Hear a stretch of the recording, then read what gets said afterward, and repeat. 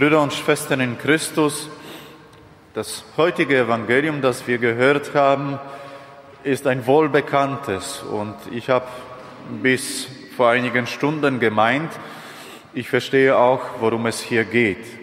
Gott hat dir viel gegeben in deinem Leben, nutze deine Talente, bring dich ein, wo es nur möglich ist. Man kann dieses Evangelium so deuten. Aber mich hat diese Deutung nicht weitergebracht, muss ich ehrlich sagen. Weil manche Talente, die man hat, wie soll man sich da in der Kirche einbringen? Wenn jemand gut Karten spielen kann, zum Beispiel, ist auch ein Talent. Was soll das? Ne? Ich habe zwar gestern von einer Schwester gehört aus Deutschland, also ich war beim Christkönig Jugendfestival, allen empfehle ich das einmal zu erleben in Kremsmünster von der Loretto-Gemeinschaft. Sie verteilen auch so schöne blaue Bände, also als Erkennungsmarke. Und die Schwester hat da auch von vielen ihren Talenten gesprochen. Am Anfang hat mich das verstört. Aber dann weil sie hat aufgezählt, also ich habe das gemacht, so viele Vorträge halte ich im Jahr und so viele Bücher habe ich geschrieben und da und dort war ich schon. So viele tausende Kilometer mache ich im Jahr im Auftrag des Herrn. Ich habe mir gedacht, naja gut, Werbung kannst du woanders machen. Ne? Aber dann habe ich mich beruhigt und ihr zugehört. Und Sie hat immer wieder einen Satz wiederholt. Worauf wartest du? Ich habe das schon auch vor ein paar Wochen hier gesagt. Worauf wartest du noch mit deinen Talenten, mit dem, was dir Gott gegeben hat? Und das ist für mich der Schlüssel für die Auslegung dieses Evangeliums. Weil, wie man sieht am Verhalten dieses Herrn, der für Gott eigentlich steht, ihm geht es nicht um den Gewinn. Er gibt dem einen, der da fünf Talente erwirtschaftet hat, genau dasselbe, was er dem gegeben hat, der zwei Talente gebracht hat, also zwei mehr.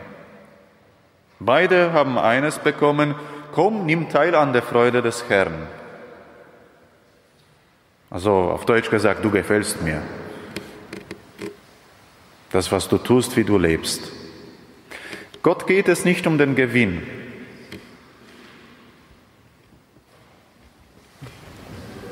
Worum geht es ihm dann?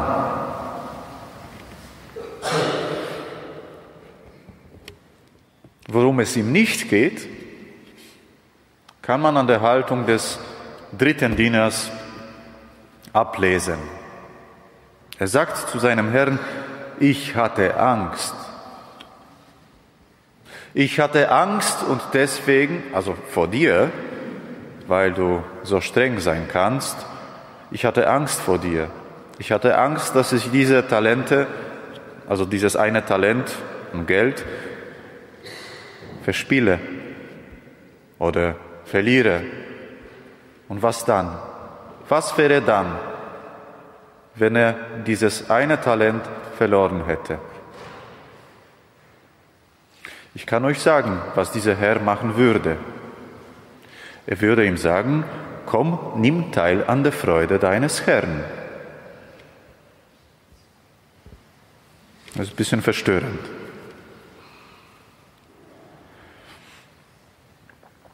Aber darum geht es in diesem Evangelium. Es geht nicht darum, wie viel du in deinem Leben leistest. Was ist das schon vor Gott? Nichts. Also wenn man das vergleichen würde. Du musst nichts leisten. Gott will von dir nichts.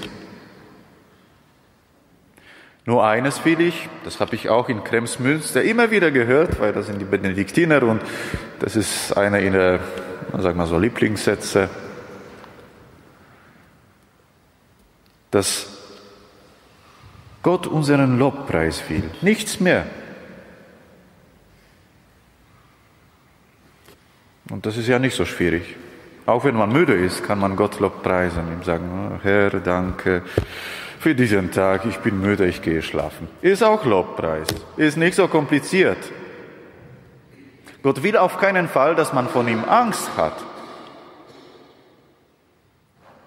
Wer Angst hat, der bereitet sich selbst dieses Los, das dem einen Diener zuteil geworden ist. Er geht in die äußerste Finsternis.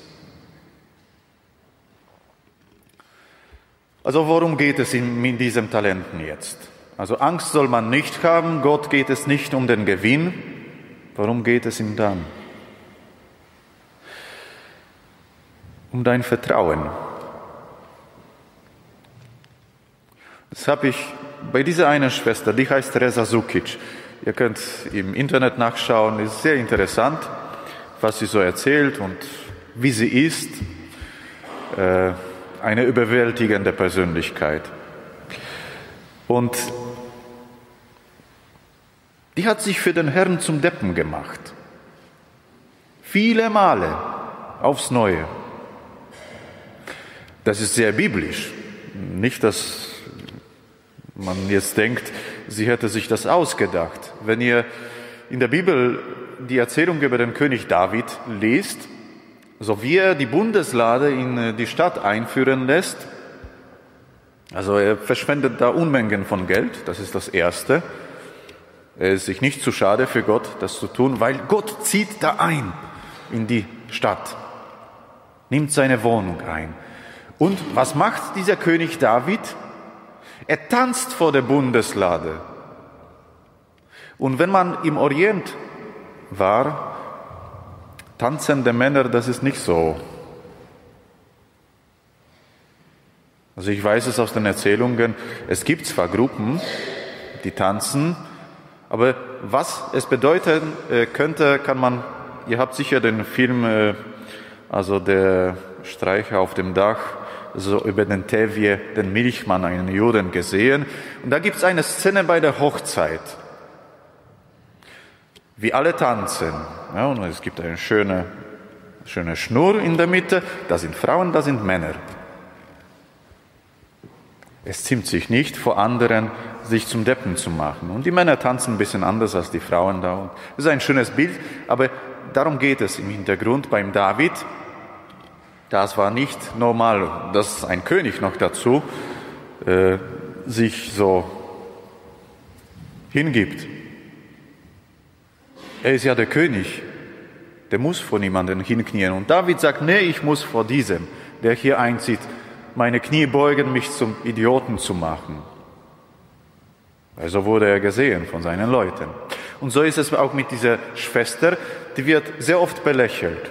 Seine große Schwester, noch dazu, wird nicht immer ernst genommen.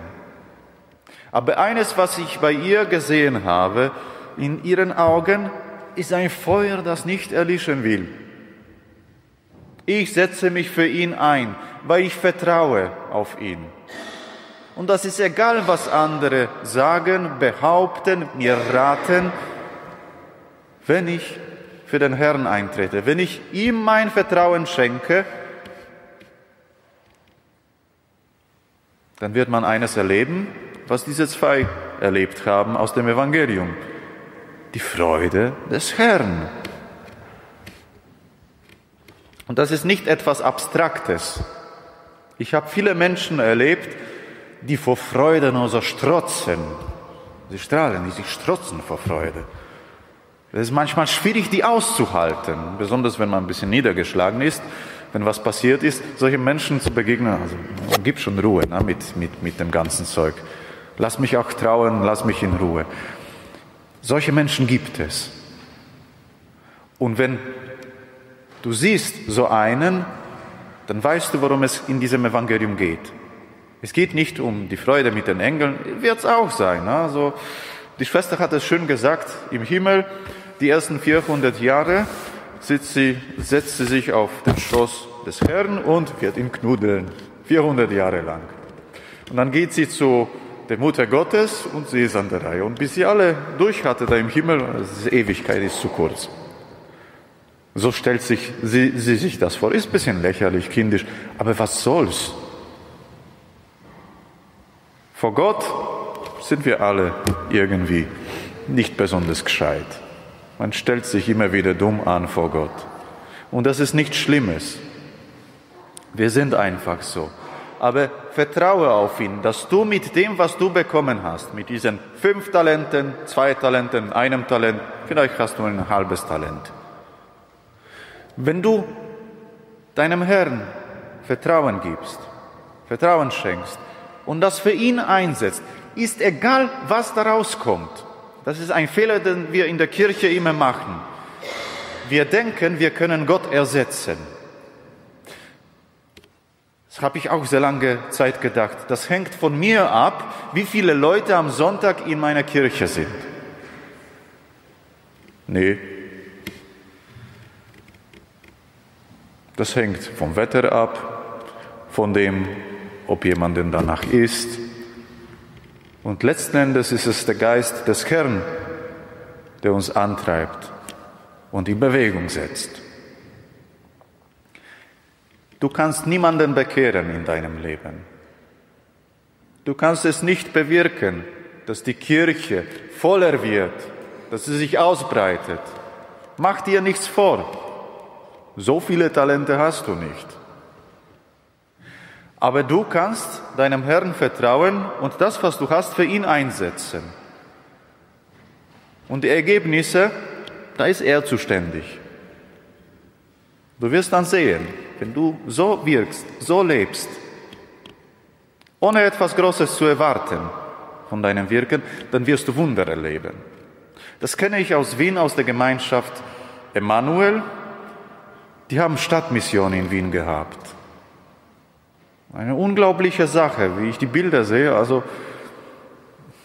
ist, ist unglaublich. Und alle haben denen gesagt, das nützt nichts. Und tatsächlich, die Kirchen wurden nicht voller.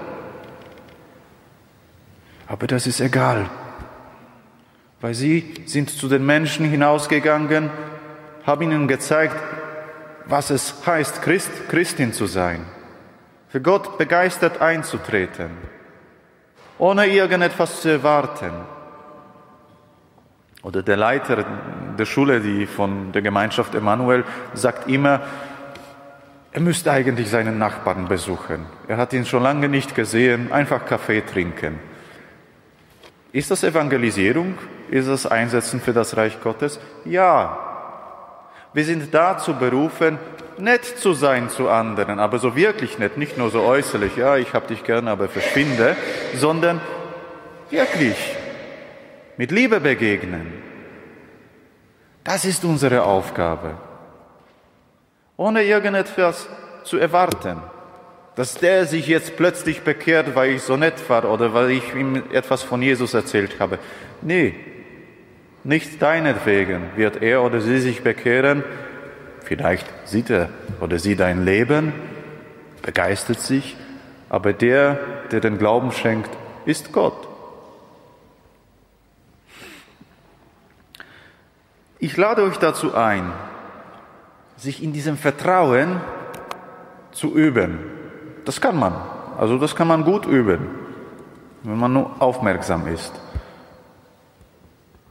Nicht sich alles unter den Nagel zu reißen, nicht die Kontrolle über alles behalten. Das kannst du sowieso nicht in deinem Leben. Nicht über alles. Es gibt Dinge, die man kontrollieren muss.